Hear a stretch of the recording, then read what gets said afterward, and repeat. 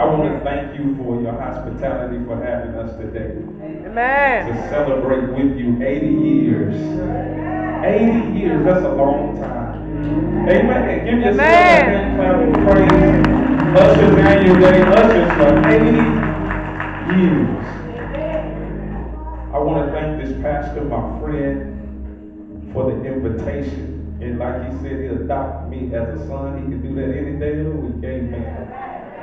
And I gladly accept. Amen. Pastor Haynes is a good man of God. He's been a dear friend. And he was a, a, a dear friend to my pastor I grew up with, uh, Dr. C.B.T. Smith at Golden Gate Missionary Baptist Church. And, and many may not know uh, the friendship that they had. And, and, I thank God for that. And I thank uh, God for him looking out uh, for my pastor. Amen. Amen. And I just want to thank you for having us once again. And, and Freedom Point, thank you for coming. Amen.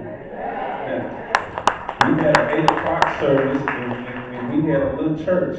And, uh, and then we came over here. I know some went on and took a nap, but those that are with me, amen. Praise God. Praise God. I'm gonna have to we're gonna have to go eat or something one Sunday. Amen. After church. Amen. Amen. Amen. And thank you for blessing the babies uh, for their birthday. I told Pastor Mary just gave me an idea. Amen. That we can take back to our church. Amen. But uh, somebody did get blessed today at our church. Amen. Financially. So God is God is good. Uh, all right, y'all ready to get in this word? I'm not gonna be long I'm, I'm, unless you know you talk back to me. I, well, I talk to you, you talk back. We'll get out of here and uh, have time. You know, your roast won't burn, or get you some chicken on the way home, whatever you have. But uh, let's let's go to the book of Psalms, Psalms number 84. Psalms number 84.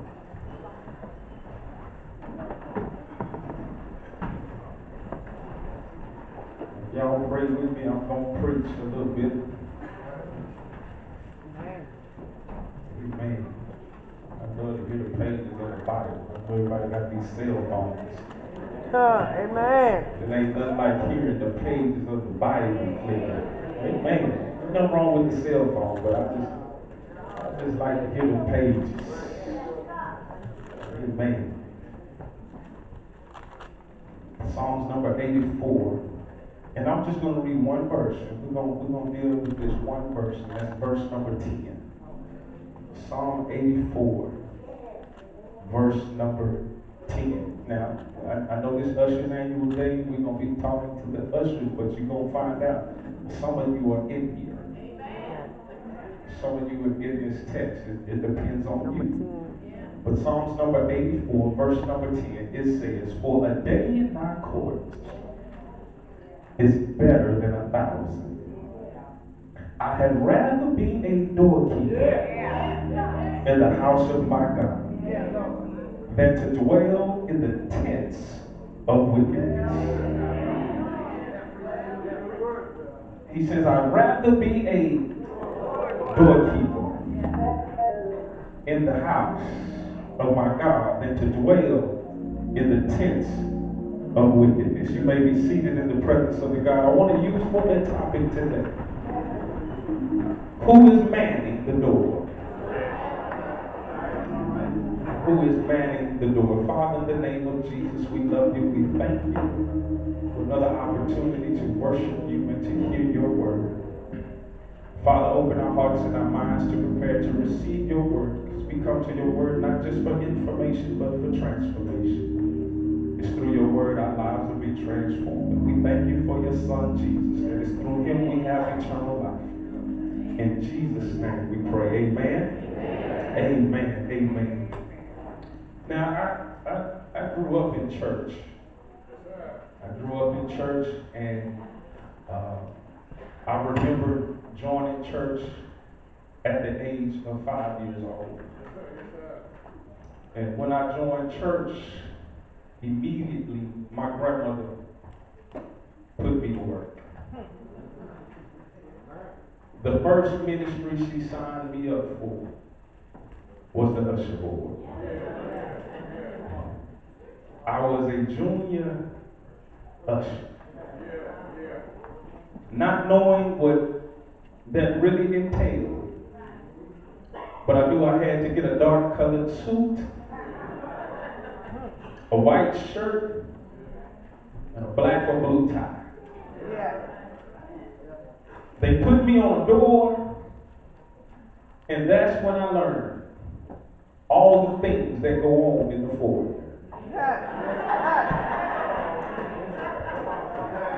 That's when I learned that all the words in church wasn't praise the Lord. Oh, y'all, y'all ain't got to say that. That's when I realized some people can get upset when they can't come in when they want to come in.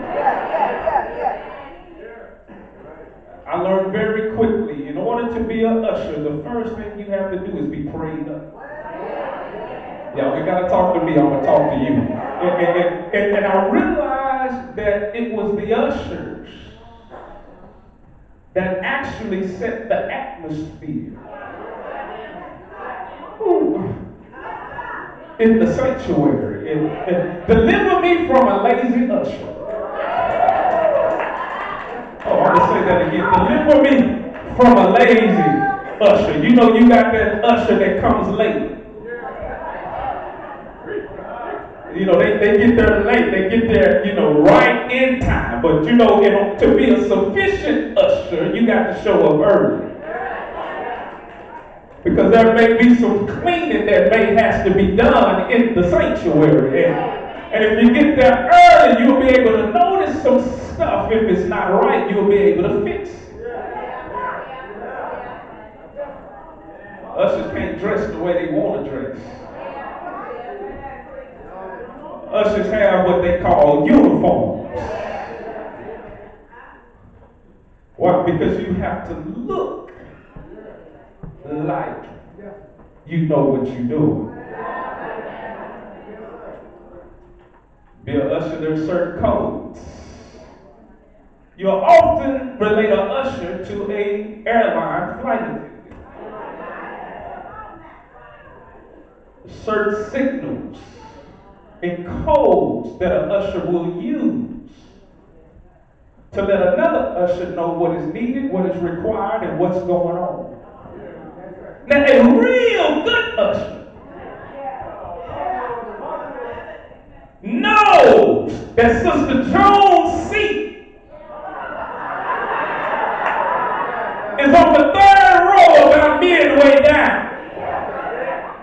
Now, a good usher knows when she sees Sister Jones in the foyer, she already checked.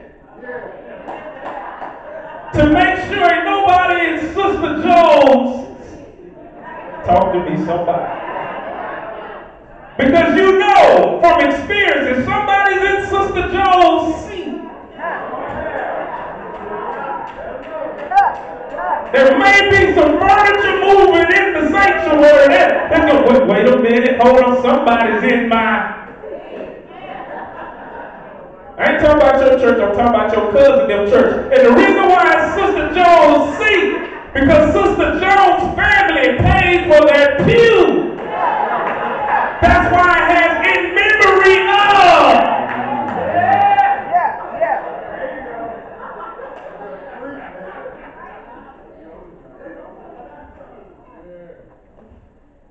A good usher knows to sit some unsaved folk. Yeah some saved. See, in the country, I grew up preaching in Mississippi. Now, now I grew up in Dallas, but I preached in Mississippi. In Mississippi, they had what you call a mourner's bench. A mourner's bench was along the front row, and, and that's where they would sit all the unsaved folk. And the mothers of the church would be sitting behind them. And whenever the preacher said something that they felt like somebody on the mourner's bench needed to hear, they would poke them. Slap them in the back of the head. And if they felt like they was about to go to sleep, they would stand up over them.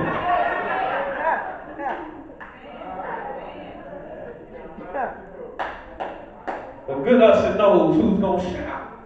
Yeah.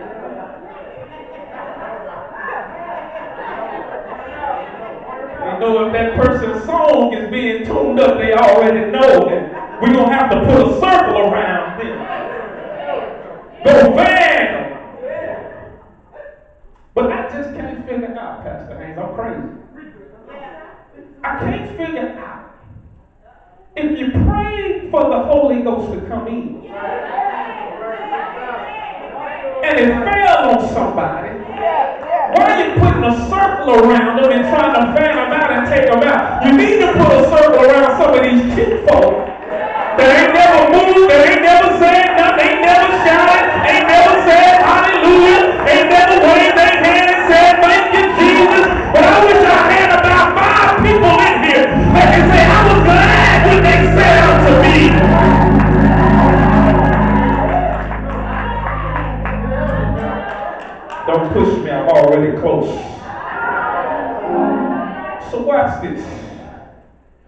David says, I'd rather be a doorkeeper.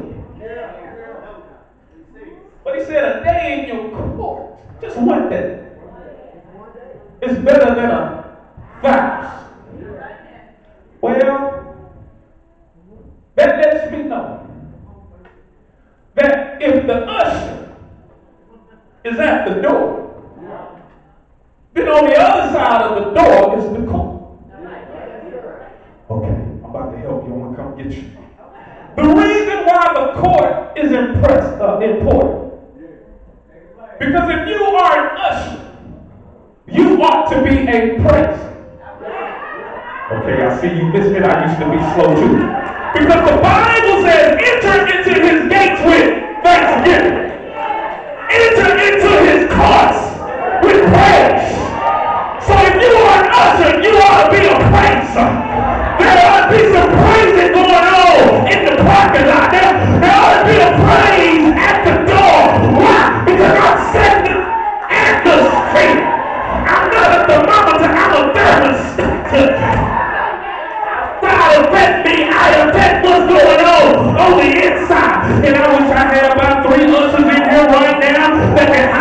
me and say, I know that's right. Because when I get outside, I thank the Lord for being where I am. I give him praise for giving me one more chance. Yeah.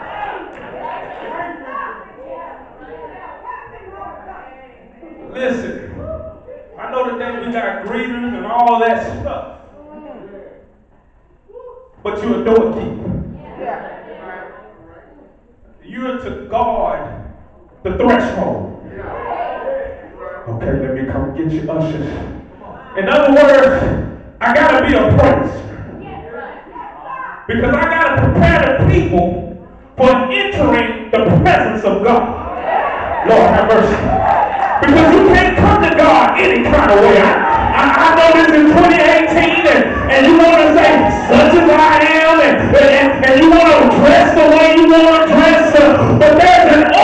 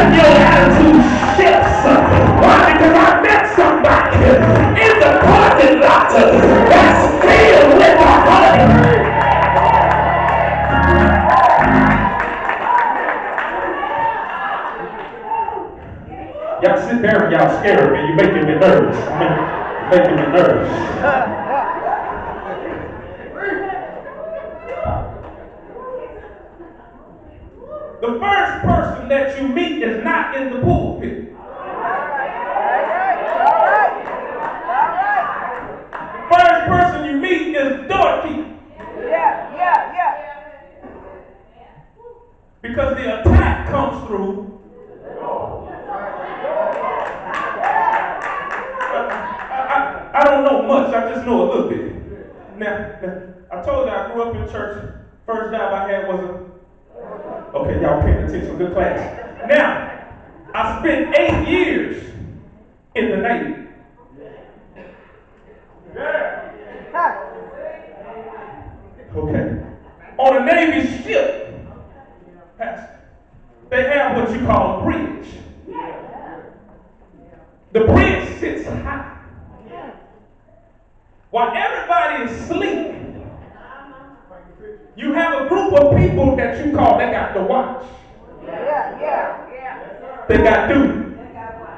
While everybody sleep, they still work. Yeah, yeah. Okay, y'all listen, let me come get you. While everybody sleep, those that have watch is still looking out through the bridge.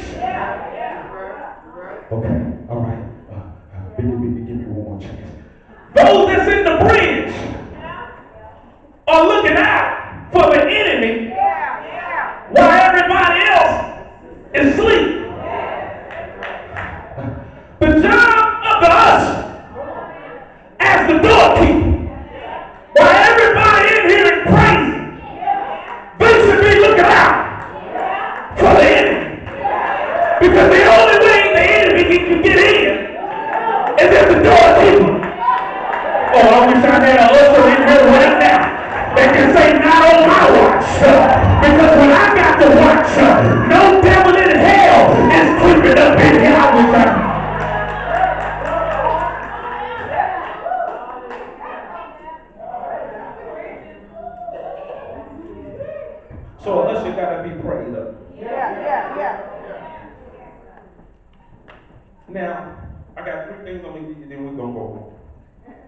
As an usher, as a doorkeeper, people will deliberately aggravate you and get on your last nerve.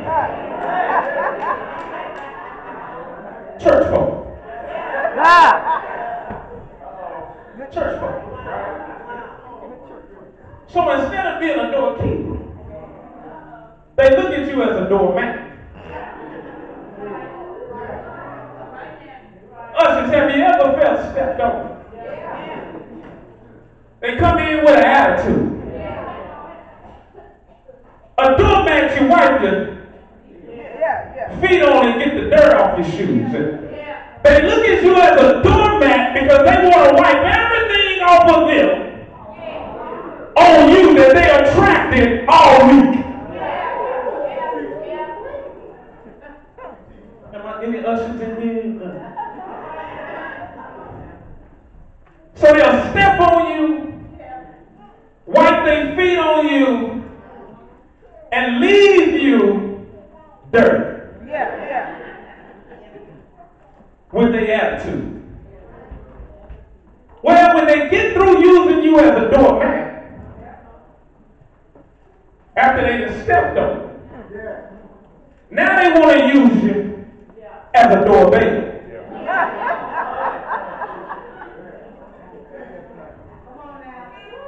They want to push your buttons. They act like you are at their beckoning call. Get the us. Get the us. Somebody get a us. They're screaming too loud and it ain't even the time for screaming. Why a usher come get them? That baby's too loud. Somebody come get that. Where are the ushers? Well, after they treat you like a doormat, step on you. After they push your buttons like a doorbell, then they want to twist you up like a doorknob. Because they're trying to twist you from your assignment. Yeah. Because if I can get you off your assignment, then I can bring confusion in the atmosphere. But a real usher knows that if you step on me, you're not going to face me. If you push me like a doorbell, you thought I was a donut and tried to glaze me, that won't face me. If you try to twist me like a doorknob, I know how to straighten myself out. Because the truth of the matter is, I'm an usher and I'm a doorkeeper. And I'd rather be a doorkeeper in the house of the Lord than spend one day in your wicked mess. I wish I had somebody in here right now.